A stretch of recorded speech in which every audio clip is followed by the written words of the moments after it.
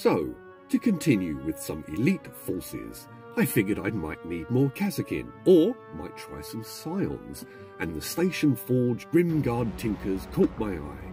I like the extra armour and the eyepiece, some sort of enhanced targeting or visual magnification, maybe letting them kick through spectrums like in Predator 2.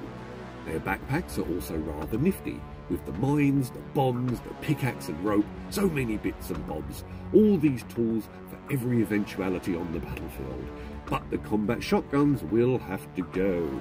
In their place, the commandos will supply hot shot lasguns, plasma, vox, and the sword and pistol for the Watchmaster. Because the backpacks are large, it means I can just glue the power cable straight to that, instead of the usual laser capacitor pack.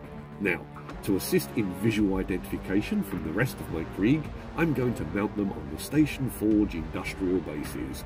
All the links are in the description.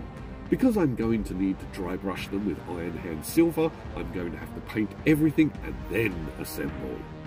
A stretch of tape along a ruler then fasten down at each end so I can drop the models onto it and have them remain upright so I can blast them from every angle in one go with the Citadel Chaos Black Primer in my box.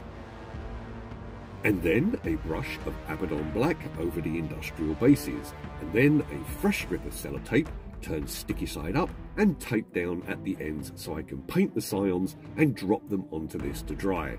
A layer of Abaddon Black on the whole squad and then onto the Iron Hand steel base to give the industrial bases a light dry brush to catch all those edges and nice features. Onto the Krieg and a dry brush of Thunderhawk Blue Dry to get the wrinkles in the clothing and on the hems of the coats and then the Dawnstone applied lighter to accent the same areas. And then back to the Iron Hand Steel to dry brush the armour and the weapons, which means the Krieg are pretty much all done except for the red, which means I can now glue them to the bases.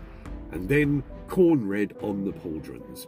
I pondered making that one eyepiece red as well, but it'll look a little just too Terminator, so I think I want to stick with the more subtle dark lens. Besides, these guys operate in stealth and camouflage. A laser pointer for an eyeball might compromise that effort.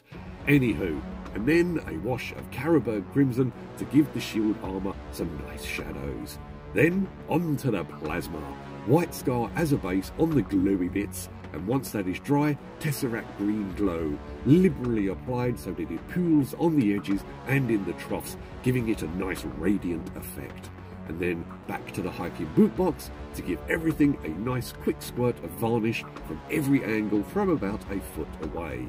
And so, here we are, my squad of Tempestus Scions, the elite stormtroopers of the Astra Militarum, armed with hotshot lasguns, shielded by carapace armour with an omni-shield helm targeting system, deep strike assaults, recon patrols, infiltration, sabotage, or airborne shock attack.